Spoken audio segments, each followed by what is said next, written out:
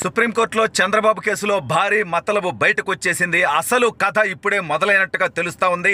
అసలు ఇంతకీ సుప్రీంకోర్టులో తీర్పు ఎందుకు రిజర్వ్ ఉంది? ఎన్ని రోజులు రిజర్వ్ ఉంటుంది? అసలు ఏం జరగబోతుంది? దీని వెనక జగన్మోహన్ రెడ్డి పాత్ర ఏమన్నా ఉందా? లేదా కేంద్ర పెద్దల పాత్ర ఉందా? అసలు ఏంటా కథ అనేది ఈ వీడియోలో వివరించబోయే ముందుగా ఇప్పటివరకు మన ఛానల్ సబ్స్క్రైబ్ చేయని వాళ్ళు ఖచ్చితంగా సబ్స్క్రైబ్ చేయండి.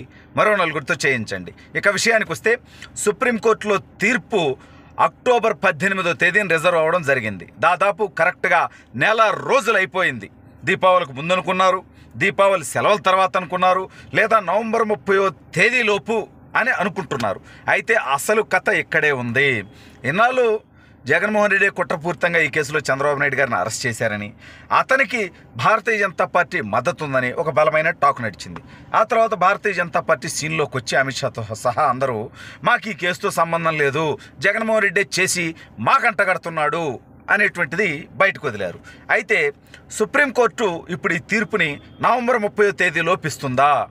ఇవ్వాలని రూల్ ఏం లేదు. మరి అసలు రూల్ ఏముంది ఒక కేసులో సుప్రీంకోర్టు తీర్పుని రిజర్వ్ చేసిన తర్వాత ఎన్ని రోజులు రిజర్వ్ ఉంచవచ్చు ఎప్పుడు ఇవ్వచ్చు అసలు ఏంటది అని చూస్తే సుప్రీంకోర్టు ఒక కేసును తీర్పు రిజర్వ్ చేసిన తర్వాత మూడు నెలల కాలం పాటు ఆ తీర్పును అలాగే రిజర్వ్లో ఉంచవచ్చు అంటే మూడు నెలలు పూర్తయిగానే ఇక కేసులో తీర్పు ఇచ్చేసేయాలా అంటే అదేం లేదు.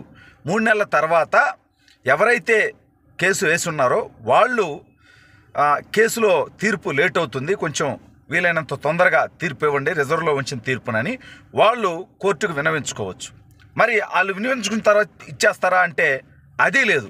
ఇంకొక మూడు నెలల సమయం కోర్టు తీర్పుని రిజర్వ్లో ఉంచవచ్చు అంటే మొత్తానికి ఆరు నెలల కాలం అలా వాదనలు ఇరువైపులా వాదనలు వినేసిన తర్వాత పూర్తిగా వాదనలు రెండు వర్గాల వాదనలు పూర్తయిన తర్వాత జడ్జి గారు తీర్పుని అలా రిజర్వ్లో ఉంచవచ్చు మరేంటి ఆరు నెలల తర్వాత ఇచ్చేస్తారా? లేదు లేదు అదేం లేదు.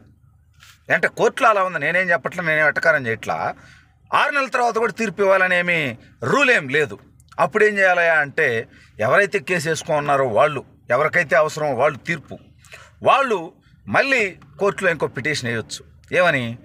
ఈ పిటిషన్ని వేరే బెంచ్ ముందుకు వేరే జడ్జి గారి దగ్గరికి మార్చండి ఇక్కడ తీర్పు లేట్ అవుతుంది అని విన్నవించుకోవచ్చు. మరి ఏం జరుగుద్ది అప్పుడు ఇక్కడి నుంచి కేసు ఇంకో బెంచ్ ముందుకో ఇంకో జడ్జి గారి ముందుకో వెళ్తుంది. మరి అతనేమన్నా ఒక వారంలో ఇచ్చేయాలా పది రోజుల్లో ఇచ్చేయాలా? మళ్ళీ అక్కడ సీన్ మొత్తం ప్రారంభమైపోద్ది అనమాట మళ్ళీ ఇరవై అతనికేం తెలియదు కదా ఈ కేసులో ఏం జరిగిందనేది. కాబట్టి వాళ్ళు మళ్ళీ వాదనలు మొదటి నుంచి ప్రారంభించి మళ్ళీ వినాలి. మరి అక్కడన్నా తేలుద్దా? అక్కడ కూడా తేలాలని కంపెనీ రూల్ ఏం లేదు ఇక్కడ. అక్కడ ఒక ఆరు నెలలు కావచ్చు.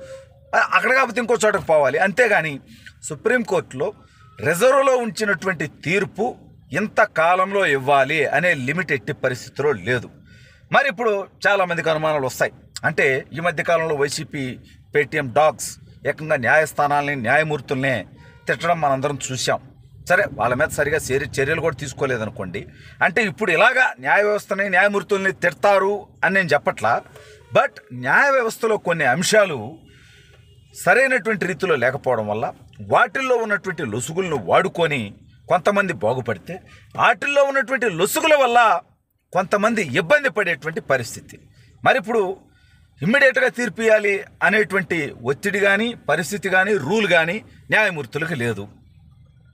మరి అటువంటి పరిస్థితుల్లో తప్పు చేయని వ్యక్తి గనక తీర్పు అలా రిజర్వ్లో ఉండిపోయి అతను ఎక్కువ కాలం దీనివల్ల సఫర్ అవ్వాల్సి వస్తే దానికి బాధ్యులు ఎవరు? న్యాయ వ్యవస్థే కదా. ఖచ్చితంగా న్యాయ వ్యవస్థలో సంస్కరణలు జరగాలి అని చెప్పి సీజేలుగా పనిచేసిన వాళ్ళ దగ్గర నుంచి రాజకీయ పార్టీ నాయకులు కానీ కానీ సీనియర్ న్యాయ కోవిదులు కానివ్వండి లాయర్లు కానివ్వండి అనేక మంది అనేక సార్లు చెప్పడం జరిగింది.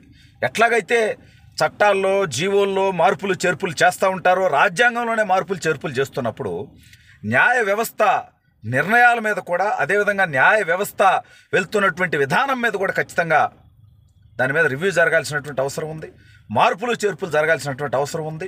అంటే ఇవాళ జగన్మోహన్ రెడ్డి పుణ్యమా అని ఈ రాష్ట్రంలో చాలామందికి లా అనే సబ్జెక్ట్ ఎంతో కొంత. అంటే సెక్షన్లు ఏంటి?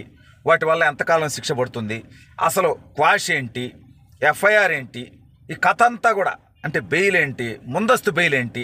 ఇలా న్యాయానికి సంబంధించి న్యాయస్థానాలకు సంబంధించి అనేక అంశాలు చాలా కూలంకషంగా డీటెయిల్డ్గా పేపర్ల ద్వారా కానివ్వండి టీవీ న్యూస్ ఛానల్స్ ద్వారా కానివ్వండి యూట్యూబ్ ఛానల్స్ ద్వారా కానివ్వండి వెబ్సైట్ల ద్వారా కానివ్వండి చాలామందికి ఈ అంశంలో కొంత అవగాహన ఏర్పడినటువంటి పరిస్థితుల్లో ఖచ్చితంగా కాలం మారే కొంది న్యాయ వ్యవస్థలో కూడా మార్పు రావాల్సినటువంటి అవసరం ఉంది. ఇలా ఒక లిమిట్ అంటూ లేకుండా ఎంతకాలమైనా ఉండొచ్చు అనే దాని మీద ఖచ్చితంగా భవిష్యత్తులో అయినా ఒక నిర్ణయం జరుగుతుందని ఆశిద్దాం.